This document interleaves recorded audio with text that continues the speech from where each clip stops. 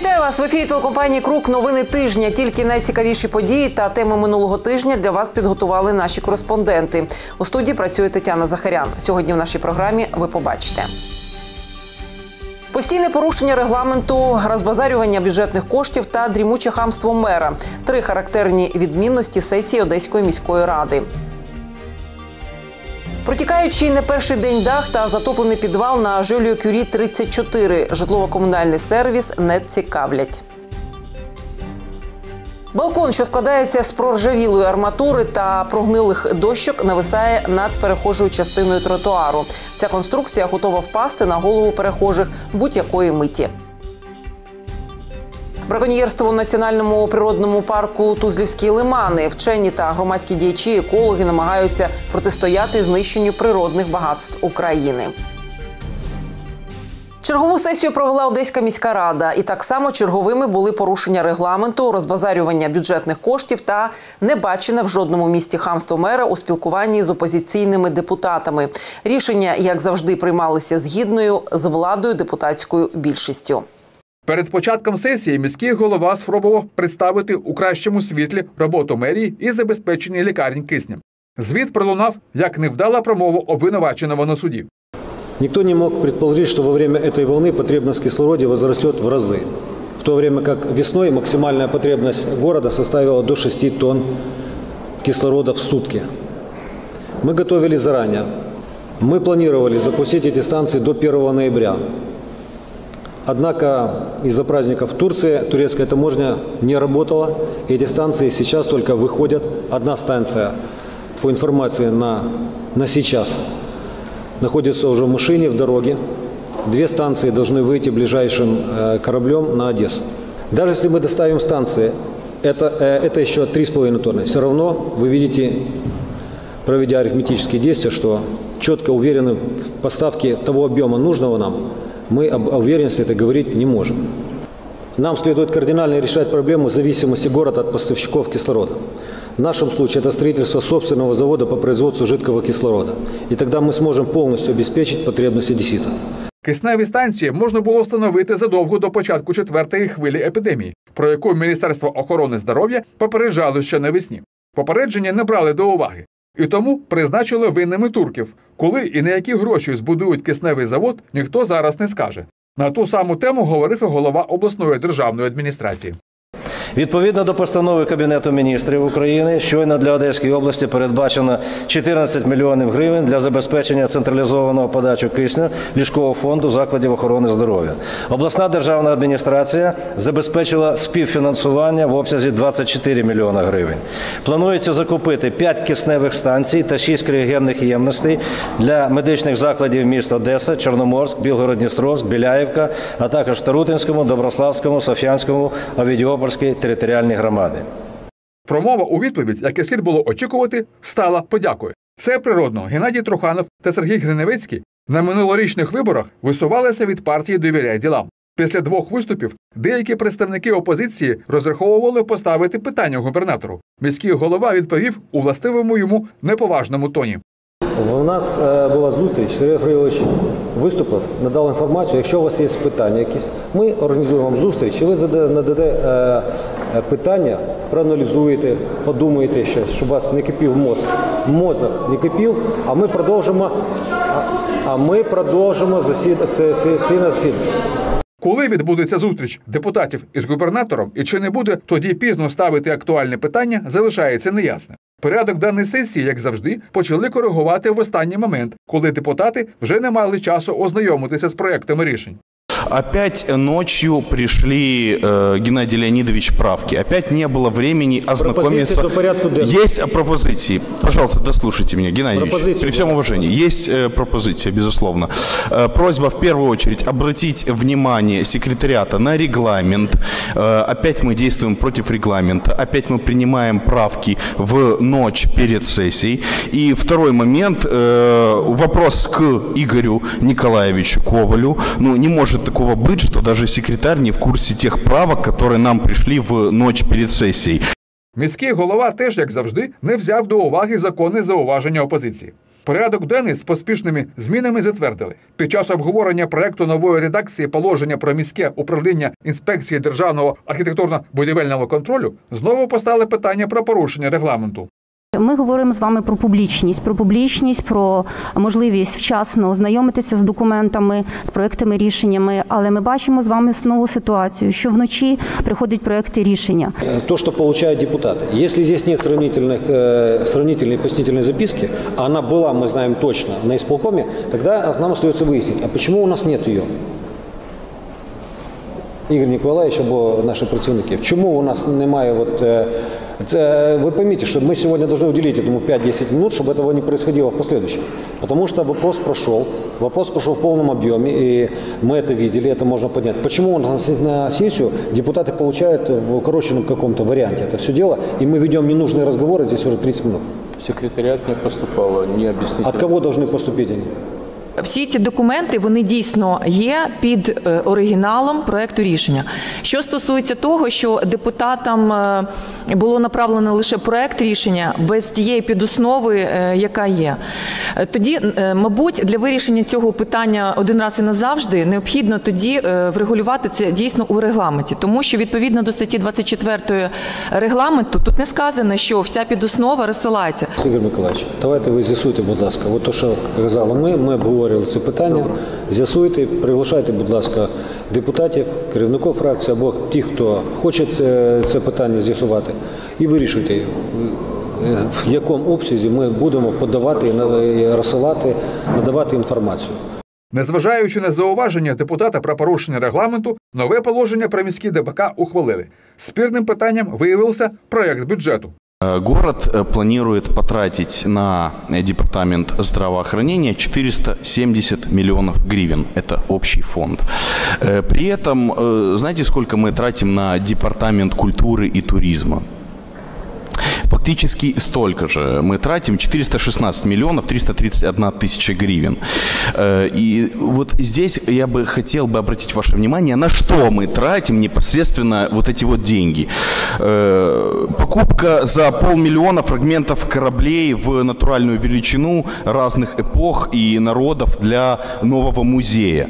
У нас в городе кислорода нет, у нас свободных койко-мест нет, у нас даже постельного белья нет. Знаете, зачем постельное белье? Потому что медработники трупы скотчем заворачивают за счет постельного белья и отправляют в крематорий. У нас этого нет, зато у нас есть вонючие кораблики, госпожа Маркова, э, в натуральную величину. Вы как врали одесситам, так и врете. У нас хватает денег и на кислород, и на все, что необходимо. Это первое. Это, это первое. Это, это первое. Послушайте меня, послушайте. Я вижу, что у нас э, хамство приобретает в этом созыве уже такое массовое какое-то. Так вот, я вам расскажу. Э, То, что я, под- те вопросы, которые я поднимал, не касались финансов. Они касались недоста- недостатка кислорода как, тако- кислорода как такового. Медикаментов как таковых. У нас есть деньги, нам купить это негде. Якщо є складнощі з покупкою медикаментів та кисню, то чому міська влада не подумала про це раніше? Але мерові простіше нахамити опозиційному депутату. Те саме тривало під час обговорення проекту з розвитку міжнародного співробітництва та маркетингу. Вот в этом проекте решение, которое мы рассматриваем, э, город выделяет 1 миллион на покупку еще э, четырех скульптур «Якорь сердца». Итого у нас есть якоря сердца. У нас благодаря госпоже Марковой есть корабли, кораблики, фрагменты кораблей викингских. У нас э, капитан есть, э, то есть полный, так сказать, э, морской комплект. Вот весь мир борется с эпидемией, а мы, как больные на голову, мотаемся по всему миру вот с этими скульптурами, якорями, когда у нас в больницах наши граждане захлебываются мокротой и умирают. А мы с якорями ездим. Мы будем продолжать рекламировать, продвигать наш город в мировом пространстве. Почему в мировом? Потому что должна была быть у нас поездка, которая отменилась 15 ноября в Йокогама, наш город побратим, где мы также планируем установить якорь сердца. Планируем, в этом году мы планировали установить в Хайфе, в Стамбуле, также якоря, наши якоря. Поэтому будем устанавливать столько, столько, сколько необходимо будет, и столько, сколько мы таких решений примем. Единственное, что, конечно, жалко мне, вот того скудоумия, которое проявляют депутаты, которые не понимают этого. Я вижу, что искренне не понимают. Тут громадянин Труханов перевершив себе. Залишається перейти на нецензурні вирази. Неможливо уявити, щоб так розмовляв мер будь-якого європейського міста. У нас все минає і залишається безкарним, у тому числі знищення національної історичної пам'яті. У п'ятий депутатам було представлено проєкт створення парку меморіалу Воскресенський на території колишнього санаторію Червоні зорі. Міністерство культури надало ділянці статус об'єкту культурної спадщини. Декілька гектарів землі у прибережній зоні приваблюють забудовників. Вочевидь, міська влада чекає на вигідні пропозиції. Відповідно до норми, е, це повинно бути 12 квадратних метрів на кожного мешканця нашого міста. А ми маємо лише 4,1. Це місце, друзі мої і шановні колеги, є культурною спадщиною грецької, молдавської, болгарської, російської, німецької етнічних груп. І звичайно важливою пам'яткою для італійців, англійських, поляків, французів, тому що там саме похоронені і їх, і їх громадяни. Вдячна Ольгі Олексіївні за те, що вона виносить вже в п'яте це питання. Прошу також колег підтримати. І нагадаю, що покоління, які не знають та не цінують, не цінують, не цінують свого минулого, не мають на майбутнього. А там дійсно з цією територією пов'язано дуже багато історичних, релігійних е, Таких си- е, ситуацій, які цінні для нас, і які ми маємо ціну е, цінувати для того, щоб наші покоління знали звідки їх коріння береться. Тому е, сама підтримую, прошу інших приєднатися. Дякую. Хочу обратить внимание, что э, именно по этому голосованию э, одесситы будут делать вывод о нашей деятельности. И будет понимание, действительно ли мы хотим что-то сделать хорошее для города или просто делаем вид. Поэтому хочу сказать, что наша фракция «Слуга народа» поддерживает инициативу Ольги Квасницкой и просим вас поддержать тоже. Спасибо. За створення меморіального парку проголосували 24 депутати. Рішення знову не прийнято. Як сказав депутат Олексій Асауленко, одесити можуть оцінити якість міської влади. Виконувач обов'язків заступника одеського міського голови Олег Брендак відпущений під заставу Вищим антикорупційним судом України. Найближчий соратник Геннадія Труханова проходить як обвинувачуваний на процесі про незаконні операції мерії з міською землею. Довгоочікуване рішення нарешті прийнято. Слідчий суддя Вищого антикорупційного суду визначив запобіжний захід Олегу Брендаку. Замість утримання під вартою він має внести заставу у 39 мільйонів 967 тисяч 200 гривень. Формальний лідер партії Геннадія Труханова довіряє ділам за значимістю для слідства обійшов навіть свого начальника. Самому меру Одеси встановлено заставу на 10 мільйонів менше. Можливо, він, і Труханов, скаже, що таких грошей немає і подасть апеляцію. Олег Брендак зобов'язаний з'являтися за викликом слідчого, не виїжджати з Одеси без дозволу, повідомляти про зміну місця проживання, не спілкуватися зі свідками у справі та іншими підозрюваними, не відвідувати певні місця, здати закордонний паспорт та інші документи для виїзду за кордон. Слідство вважає Олега Брендака винним у зловживанні службовим становищем. Стаття 364 Кримінального кодексу у цьому випадку передбачає позбавлення волі на строк від 3 до 6 років. У вищому антикорупційному суді нагадують, що заступника мера разом з іншими 15 особами підозрюють у ймовірному заподіянні шкоди територіальній громаді Одеси через відчуження земельних ділянок. Нагадаємо, 2 листопада НАБУ оголосило у розшук скандального одеського бізнесмена Володимира Галантерника. Його підозрюють у керівництві злочинним угрупованням, до складу якого входили Геннадій Труханов та інші чиновники одеської мерії. Раніше в суді вже обрали запобіжні заходи одеському меру Геннадію Труханову із сумою застави у 30 мільйонів, а також директору юрдепартаменту Інні Поповській 26 мільйонів. Екс-директору департаменту комунальної власності Олексію Спектору обрали запобіжний захід у вигляді цілодобового домашнього арешту. Директор департаменту комунальної власності Одеської міської ради Володимир Радіонов має внести заставу півтора мільйона гривень. Запорука у сумі 8 мільйонів визначена для екс-голови депутатської комісії комунальної власності Василя Шкрябая. Для колишнього прокурора Олега Жученка 2 мільйони 618 тисяч. Співзасновника одеської будівельної компанії Будова Дмитра Дімарського 59 мільйонів гривень. Невідомі особи дзвонять підопічним з благодійного фонду Корпорація монстрів і вимагають повернути кисень назад або заплатити певну суму грошей. Про це на своїй сторінці у Фейсбук повідомила волонтер і засновник фонду Катерина Ножевнікова. Також додала у жодному разі не слідувати вказівкам шахраїв. Як зазначає Ножевнікова, спочатку почувши історію, де нібито співробітники фонду вимагають кисень назад у підопічних фонду, стало смішно. Але коли кількість таких історій стрімко зросла, тут вже не до жартів. Визначити, що ж це за Робін Гуд такий, поки не вдалося. Варто зазначити, що дзвонять з різних номерів, деякі з них приховані. Це перша частина історії. А ось із другою частиною вже цікавіше буде. З урахуванням і так складною, можна сказати, критичною ситуацією у місті, вчинкам людей немає виправдання. Так от тепер уже невідомі особи дзвонять і вимагають заплатити корпорації монстрів якусь суму грошей. І, що цікаво, скидають не банківський рахунок, а номер картки. Цитуємо.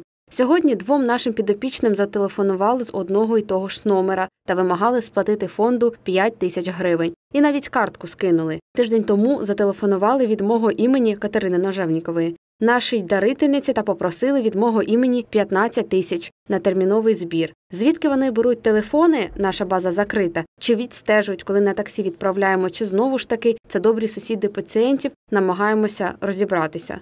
А поки що представники фонду розбираються, хочемо попередити, що кисень фонд надає безкоштовно і ніхто не може у вас вимагати гроші. Це ж прописано у договорі, який підписує кожен пацієнт. А також усі збори проводяться виключно у мережі та на рахунки фонду. Тому будьте пильні. Про подібні ситуації просимо повідомляти безпосередньо волонтерці та засновниці благодійного фонду Корпорація монстрів Катерині Ножевніковій за номером телефону, який ви зараз бачите на екрані 067 48 49 285.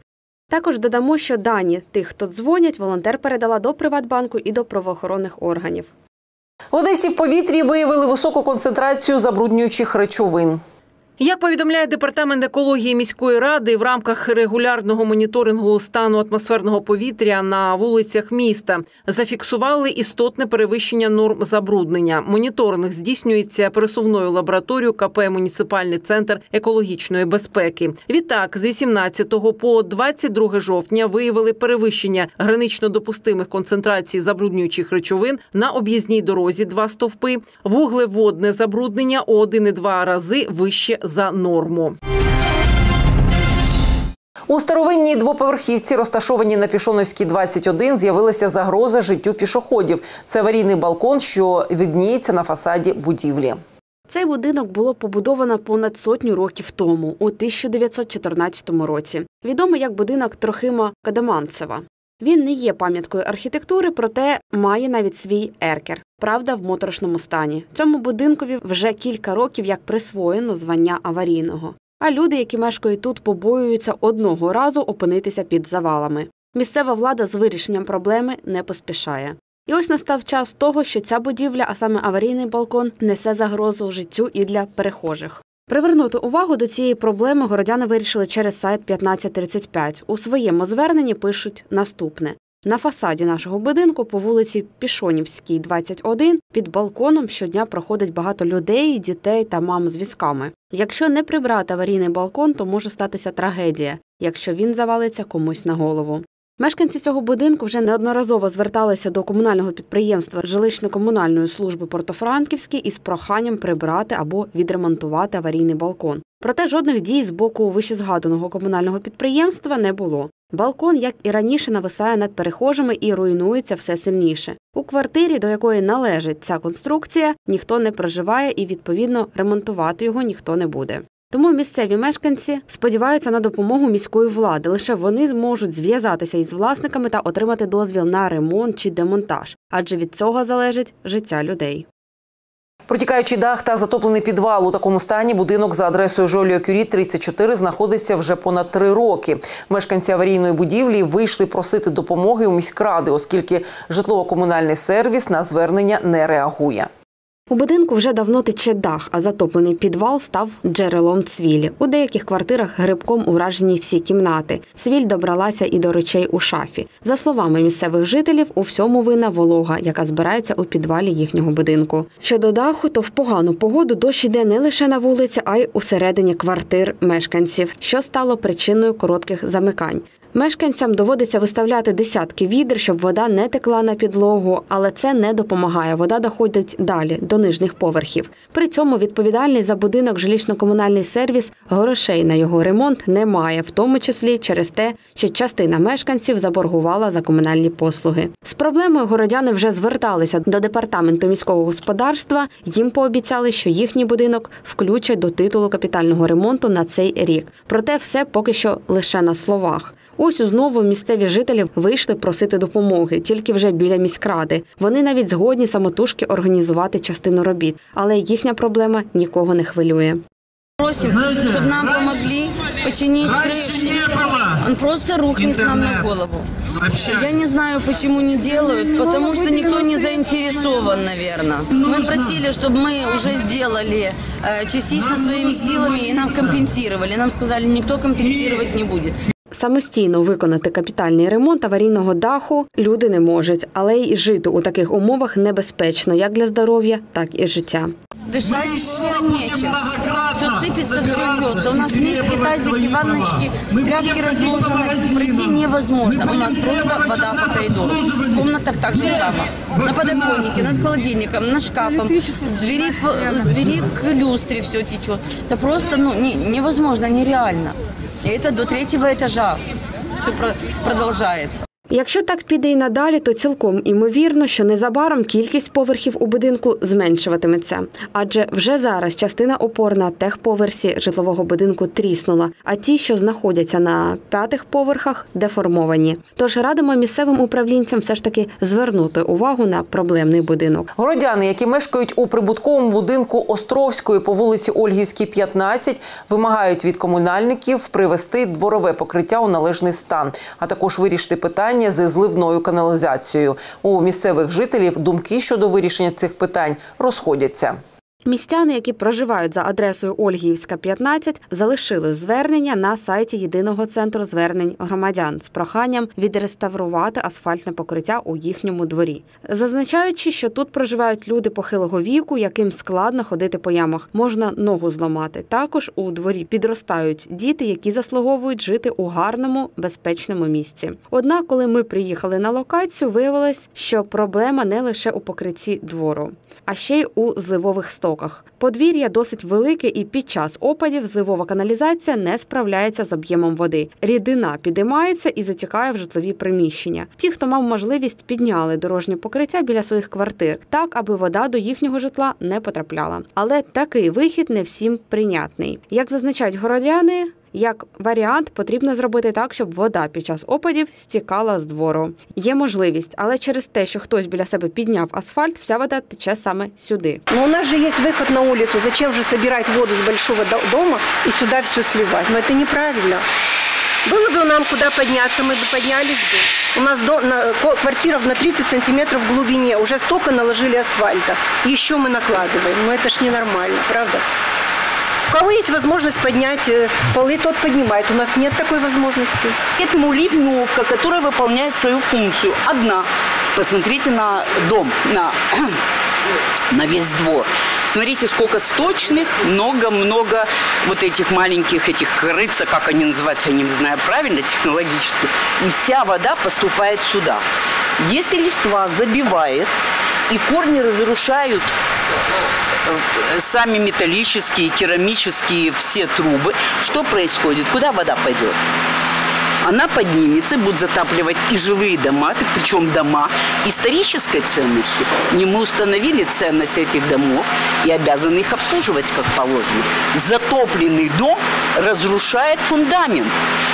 У цьому дворі є ще одна проблема: це непорозуміння між поглядами самих мешканців щодо вирішення проблем. Одні вважають, що дерево заважає зливовій каналізації і руйнує її, а інші стверджують, що завдяки ньому все і тримається. Мовляв, своїм корінням рослина отримує ґрунт і до того ж вбирає вологу. Зазначимо, це єдине дерево, що залишилось тут.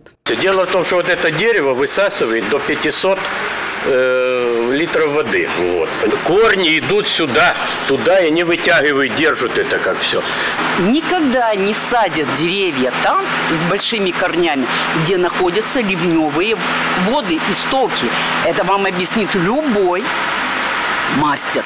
На сайті septic.guru ми знайшли інформацію про те, що водопровід, теплопровід і система дренажу вимагають дотримуватися відстані двох метрів від дерева. Адже труби, навіть дуже міцні, можуть бути схильними до псування. Сильні та розвинені корені можуть зігнути їх, порушуючи герметичність. Згодом розкопки та ремонт неминуче призведуть до травми корневої системи. Тому, щоб уникнути конфлікту дерева та комунікації, потрібно залишати між ними відстань не менше двох метрів. Сподіваємося, з цим питанням ми розібралися. І мешканці спільно з житлово-комунальним сервісом знайдуть компроміс і вирішать існуючі проблеми, і тим самим збережуть затишок та порядок у своєму будинку та дворі. Зазначимо, прибутковий будинок Островської було збудовано в 1892 році за проектом архітектора Івана Яценка. 2008 року наказом Міністерства культури будівлю визнали пам'яткою архітектури. В Одесі з'явилася надія на відродження виробництва художніх фільмів. Кабінет міністрів України передав Одеську кіностудію з введення Міністерства культури в управління Державному агентству з питань кіно.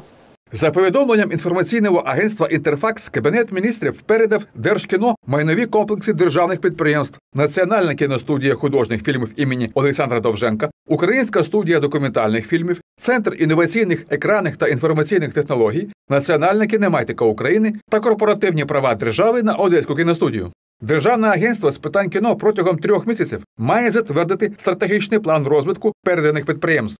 Частка держави в акціонерному товаристві Одеська кіностудія складає 50% плюс одна акція. Ще двоє рівноправних співвласників товариство з обмеженою відповідальністю Нова кіностудія та Медіа Коворкінг.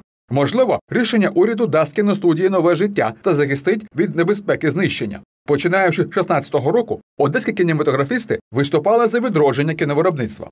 Мы располагаем информацией о том, что существует определенный план э, застройки Одесской киностудии, по которой якобы будут строиться э, здания, которые необходимы для кинопроизводства. Но это здание кинотеатр, бизнес-центр э, и э, гостиница.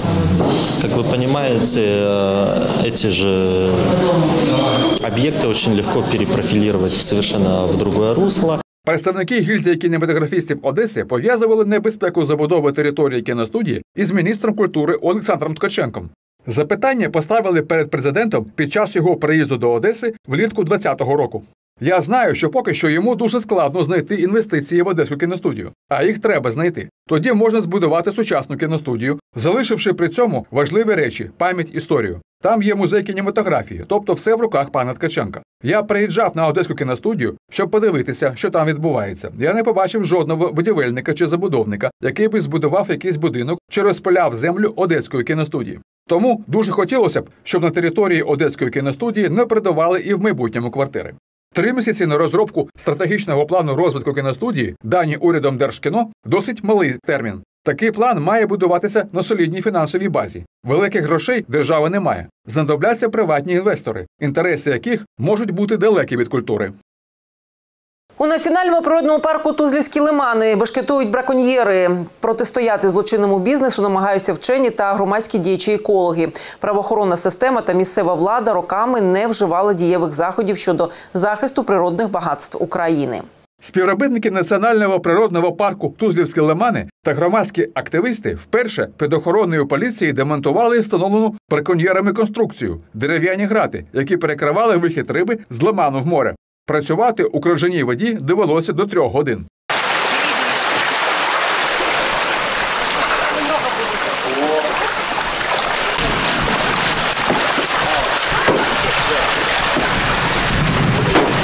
Ми сьогодні демонтували незаконні знаряддя лову, е, які називаються гарди.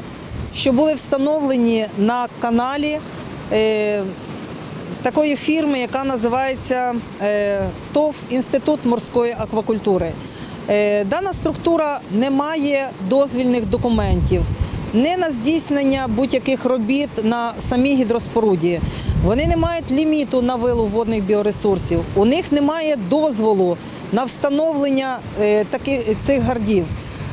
Більш того, ці гарди були встановлені фактично ще з 2014 року. Саме через цей канал і через встановлені гарди незаконно вилучалися сотні тонн, зокрема кефалових видів. На протяжении многих лет компании, разные, под разным названием, компании, которые узурпировали рыбные ресурсы Тузловских лиманов, не выпускали эти ресурсы в Черное море.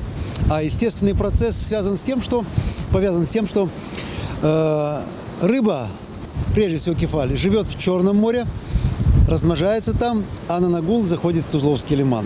Вільний вихід риби забезпечує підтримку рівноваги морської екологічної системи та регулярний стабільний улов законним рибопромисловим господарством. Лимани місце відпочинку та харчування паралітних птахів. Для Одесской области, для э, Херсонской области, Николаевской э, такие способы, м, скажем так, э, эксплуатации очень э, распространенные. Более того, на э, руководство Национального природного парка Тузловские лиманы с- смотрит вся страна, потому что э, ну, фактически был брошен вызов вот этой коррупционной системе. И сегодня э, это мероприятие показало, что э, руководство нацпарка побеждает. За шість років роботи співробітники парку написали кілька десятків заяв до поліції та прокуратури з приводу незаконного лову риби і полювання. Реакції держави не було. Злочини продовжувалися. Це була та територія, куди не могли прийти е, працівники парку для того, щоб перевірити в період сезону міграції весняної, осінньої, що відбувається. На них просто нападали. Ми давали їм приписи, вони їх не виконували. Ми звертаємося в суд, ми пишемо заяви в поліцію, вони не відкривають провадження. Вони проводять незаконні роботи на землях водного фонду без е, висновку о- на оцінку впливу на довкілля, але на це теж не зважали так само правоохоронні органи, зокрема Держекоінспекція. Впервые за многие годы полиция, национальная полиция, областное управление, э, его непосредственные руководители, которые были сегодня на местах, они показали, что они стоят на стороне закона. Они не допускали правонарушений, а наши инспектора, инспектора Национального природного парка делали свою работу. На жаль, довго радіти екологам не довелося. Як повідомив Іван Русів, наступного дня браконьєри засипали піском вихід із лиману в море. Співробітники парку знову звернулися до поліції. Очевидно, зі зміною керівництва силових структур та органів місцевої громадянської влади в області корумпована система збереглася. Злочинний бізнес, як і раніше, почувається в безпеці. Небайдужі одесити зібрали понад 50 кубометрів сміття на пляжі у Крижанівці. Величезне стихійне звалище з'явилося там після курортного сезону. Незважаючи на те, що територія засміченого пляжу знаходиться на кордоні Одеси та Крижанівки, ніхто з мерії чи сільради допомогу городянам у прибиранні сміття не надав. Ініціативні одесити, починаючи з 25 вересня у вихідні, самотужки наводили порядок на території пляжу та зеленій зоні. Вони збирали сміття до пакетів, а потім на тачках відвозили до будівельних контейнерів. Варто відзначити, щоб покращувати екологію, приходили не лише одеські екоактивісти, а й прості люди, побачивши реальну користь. Допомагати небайдужим одеситам прийшов і 85-річний пенсіонер із садівничого кооперативу над Крижанівкою. Леонид. Леонид. 85 лет. Э, э, э, Род 85. 85 лет. Неравнодушный человек, который любит свой город и хочет, чтобы кругом было чисто и красиво. Вы не представляете, это третий контейнер. И все они сделали это своими руками. Активно допомагали дорослим і діти. Як зазначив екоактивіст Юрій Дяченко на своїй сторінці у Фейсбук, усього було зібрано понад 50 кубометрів сміття. Щоб уявити, скільки це, на фотографіях можете побачити вже третій заповнений з вершиною контейнер. Втішно було вчора чути від відпочиваючих, що вони це місце не впізнали просто, і тут ніколи не було так чисто. А також бачити, що люди не смітять, а виносять сміття, беруть приклад і забирають, допомагають. Також Юрій додав, що з важливих проблем на пляжі непрацюючий туалет та відсутність сміттєвих контейнерів. Крім того, існує екологічна проблема стоків, які забруднюють морську воду. Територія пляжу Крижанівка начебто відродилася. Стало приємно проводити тут час. Тепер тут можна дихати на повні груди і свіжим повітрям. Дуже сподіваємося, що як місцеві, так і приїжджі зможуть зберегти цю атмосферу та чистоту, створену руками небайдужих одеситів та волонтерами Еко Гріндей. Таким побачили цей тиждень наші кореспонденти. А нам залишається побажати вам гарного настрою, оптимізму і тільки добрих новин. Всього найкращого і до нових зустрічей в ефірі.